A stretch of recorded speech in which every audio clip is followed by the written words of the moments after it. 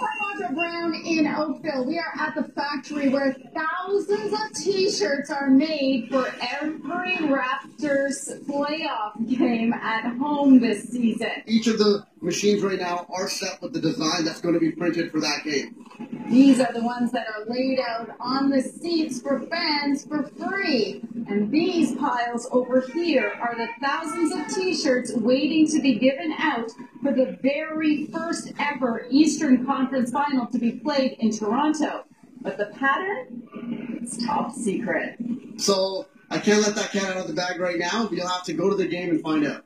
And no, we're not giving away the big secret here. These are actually the t-shirts that were used in round one.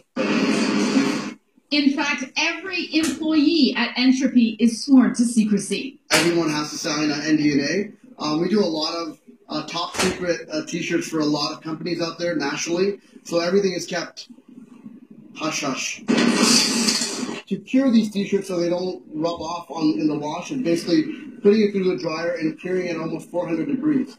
The t-shirts have been given out at special event games throughout the season and at every playoff game at the ACC.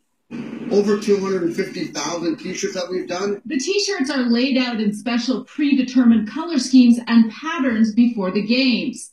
They'll put a schematic of the actual ACC grounds and basically draw it out and then let us know, all right, there needs to be 3,000 black shirts to create the Maple Leaf. They're designed by the creative staff at MLSE.